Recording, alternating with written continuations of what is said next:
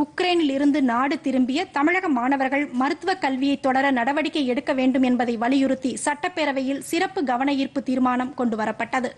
இந்த கவன ஈர்ப்பு தீர்மானத்தின் மீது பேசிய காங்கிரஸ் உறுப்பினர் செல்வ பெருந்தகை உக்ரைனில் இருந்து மாணவர்களை மீட்க சிறப்பு குழுவை அமைத்து முதலமைச்சர் மு க ஸ்டாலின் துரிதமாக நடவடிக்கை எடுத்தார் என பாராட்டு தெரிவித்தார்.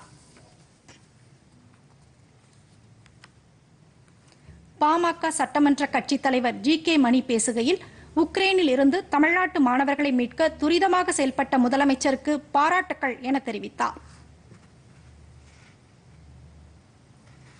விடுதலை சிறுத்தைகள் கட்சி உறுப்பினர் சிந்தனை செல்வன் பேசுகையில் நாடு திரும்பிய மாணவர்கள் மருத்துவ கல்வியை தொடர அரசு உரிய நடவடிக்கை எடுக்க வேண்டும் என்று கேட்டுக்கொண்டார்.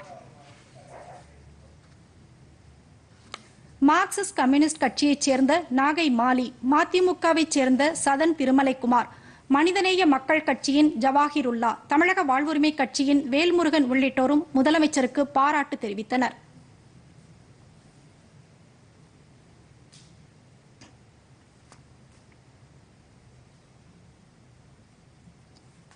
பின்னர் இந்த தீர்மானத்தின் மீது பதிலளித்து பேசிய மருத்துவம் மற்றும் மக்கள் நல்வாழ்வுத்துறை அமைச்சர் மா சுப்பிரமணியன் அரசு மேற்கொண்ட நடவடிக்கையின் காரணமாக ஆயிரத்து எண்ணூற்று தொன்னூறு தமிழக மாணவர்கள் பாதுகாப்பாக தாயகம் அழைத்து வரப்பட்டுள்ளதாக தெரிவித்தார்.